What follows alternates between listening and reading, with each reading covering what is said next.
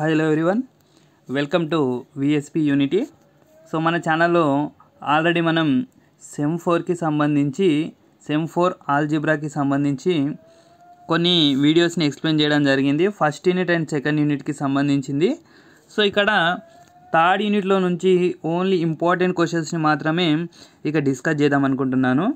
ఆ ఇంపార్టెంట్ క్వశ్చన్లో ఆల్రెడీ మనకు ఫస్ట్ ఐసోమార్ఫిక్ తీరం ఎక్స్ప్లెయిన్ చేయడం జరిగింది. మన ఛానల్లో ఉంది. ఒకసారి చెక్ చేయండి. అదేవిధంగా every field is an integral domain అనే క్వశ్చన్ని కూడా ఎక్స్ప్లెయిన్ చేయడం జరిగింది. సో ఇప్పుడు every finite integral domain is a field అనే క్వశ్చన్ ఉంది. Every finite integral domain is a field. Integral domain field కాదు. May or may not be. Finite integral domain అనేది ఫీల్డ్ అవుతుంది. ప్రతి ఫైనైట్ ఇంటిగ్రల్ డొమైన్ అనేది field అవుతుంది. ఓకేనా?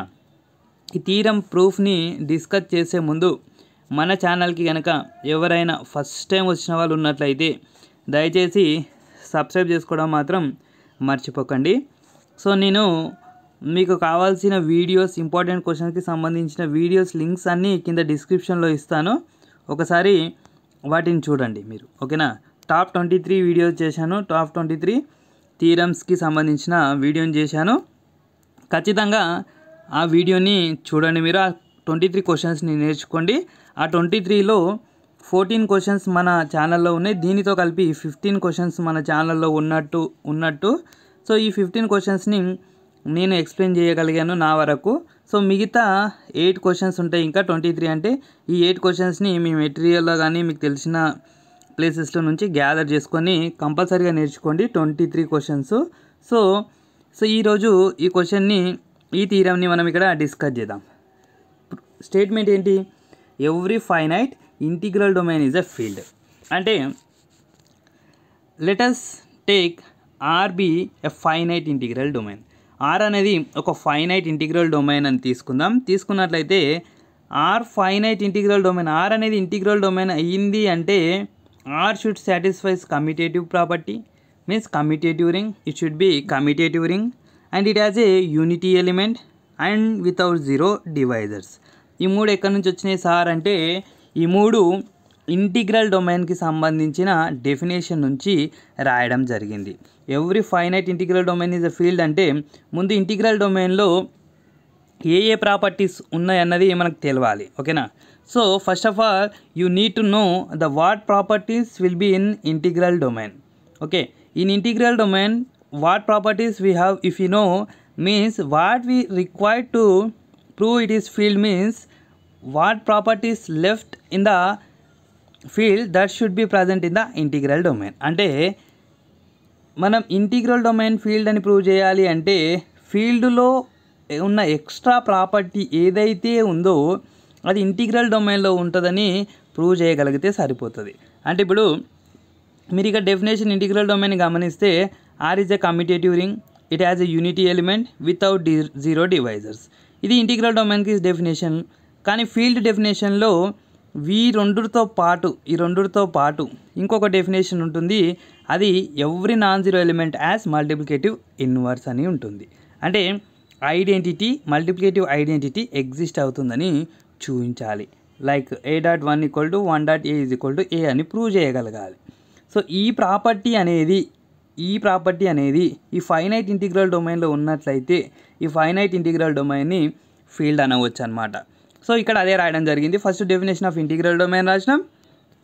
G without zero divisors no zero divisors అంటే a dot b is equal to zero then a is equal to zero or b is equal to zero. ఇది without zero డివైజెస్కి definition.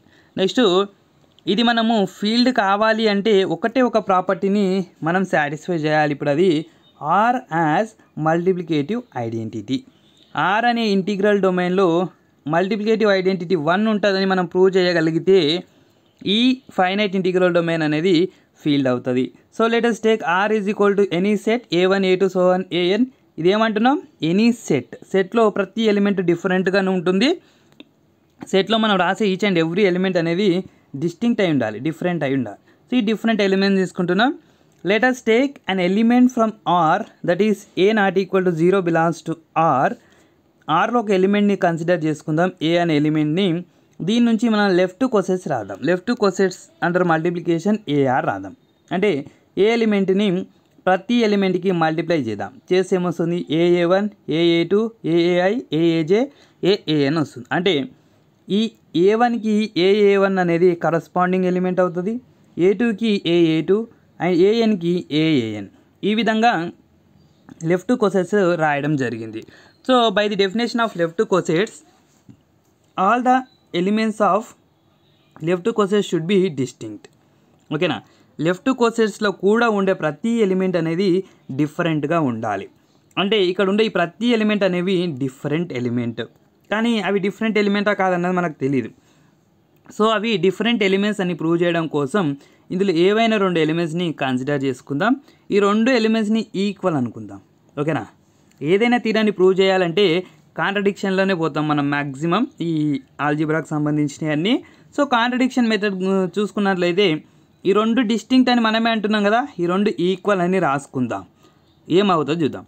ఈ రెండు equal అని రాస్తున్నాం for i not equal to j అంటే a a one is equal to a a two అని consider చేసుకుంటున్నాం. I not equal to j one not equal to two కాబట్టి. ఓకేనా no? Bring this to this side then it will be a a i minus a a j is equal to zero if you take a as common then here a i minus a j so by the definition of no zero divisors product of two elements should be zero అయితే then there should be a is equal to zero or b is equal to zero means here a is a is equal to zero or a minus ai minus aj is equal to 0 but here we know a not equal to 0 means this should not be equal to 0 this should not equal to 0 definitely this should be 0 means ai minus aj should be 0 as we know a not equal to 0 then ai minus aj is equal to 0 then ai is equal to aj so this is contradiction. Why this is contradiction? Already i said now only r is a set r is a set in this set every element should be different but ai and aj also the part of this r elements are the part of this r then ai is equal to aj means this is a contradiction okay this is a contradiction every element of r must be identical with exactly one element of a R అంటుండు అంటే ఇక్కడ ఏమన్నా మనం ఇంతకుముందే ఏలో ప్రతి element అనేది ఏదో ఒకటే ఎలిమెంట్తో మాత్రమే ఇట్లా లింక్ ఉండాలన్నమాట. ఆర్లో ఉండే ప్రతి ఎలిమెంటు ఏఆర్లో ఏదో ఒక్క ఎలిమెంట్తో మాత్రమే లింక్ ఉండాలి. But here a i is equal to a j రావడం జరిగింది అంటే ఈ రెండుటికి ఒకటే ఎలిమెంట్ ఏఆర్లో ఉన్నట్టు దాని మీనింగ్ అవుతుంది. సో ఇక్కడ అది కాంట్రడిక్షన్లో రాసినాం. Therefore every element of R must be identical with exactly one element of a R ఓకేనా exactly one element of a R so let us take an element from R ఆర్లో ఒక element తీసుకుందాం. ఏ ఏ అనే ఒక ఎలిమెంట్ని ఆర్లో తీసుకుంటే ఈ ఆర్లో ఉన్న ఎలిమెంట్ దేనికి equal ఉండాలి? ఏఆర్లో ఏఆర్లో ఏకేఏఆర్ ఏఏకే ఎనీథింగ్. ఎందుకంటే R is a integral domain అంటున్నాం. ఫైనైట్ ఇంటిగ్రల్ డొమైన్ అంటున్నాం. అంటే ఆర్లో ఫస్ట్ ప్రాపర్టీ ఏం రాసినాం? ఆర్ ఈజ్ కమ్యూటేటివ్ రింగ్ అన్నాం. R should satisfy commutative ring. Commutative ring అని ఎప్పుడు అంటాం? అండర్ మల్టిప్లికేషన్ కమిటేటివ్ ప్రాపర్టీని సాటిస్ఫై చేయాలి ఆర్ అనేది.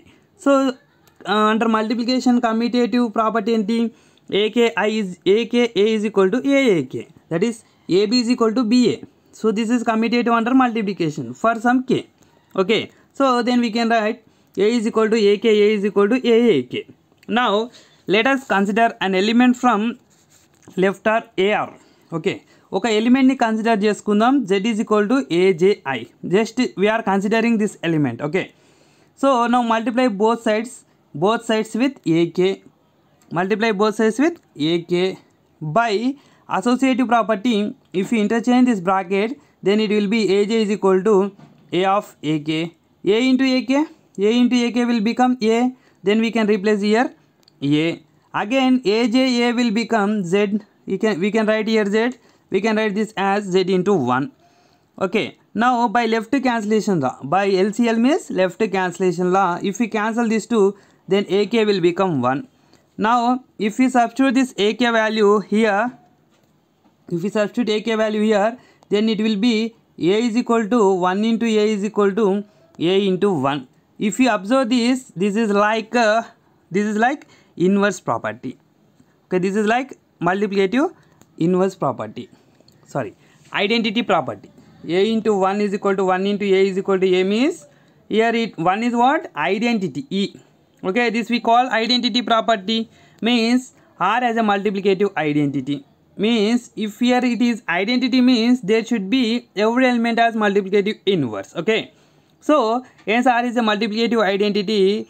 Conclusion is what? Every finite integral domain is a field. According to our material i given this proof. Okay very easy and uh, important theorem. Again see what we what we done here. So just uh, we have to consider a set uh, r. R is a finite integral domain set uh, then we have to we have to write left cosets. Then left cosets r should be distinct. So we have to show that all are distinct. So if we show after showing that all distinct every element of r should be identical with every any exactly one element with a R అంటున్నాం. అంటే ఏలో ఉన్న ప్రతి element ఏఆర్లో ఏదైనా ఒక ఎలిమెంట్తో ఐడెంటికల్గా ఉండాలి. That is a is equal to a k a or a is equal to a a k by abelian property commutative ring property. తర్వాత just we considered a element z is equal to a j a. Again multiplied both sides with a k then by అసోసియేటివ్లా here we can replace in place of this a from this then AJA will become again z z into z can be written as z into 1 by left cancellation the z z cancel AKA will become 1 if we substitute this one here then it will be like uh, identity property under multiplication by identity property under multiplication we can conclude that every finite integral domain is a field I hope all you clear ఈ video కనుక మీకు నచ్చినట్లయితే like చేయండి share చేయండి అదేవిధంగా మన ఛానల్కి ఎవరైనా ఫస్ట్ టైం వచ్చిన వాళ్ళు ఉన్నట్లయితే సబ్స్క్రైబ్ చేసుకోవడం మాత్రం మర్చిపోకండి. Thank you. Thank you for watching. Have a nice day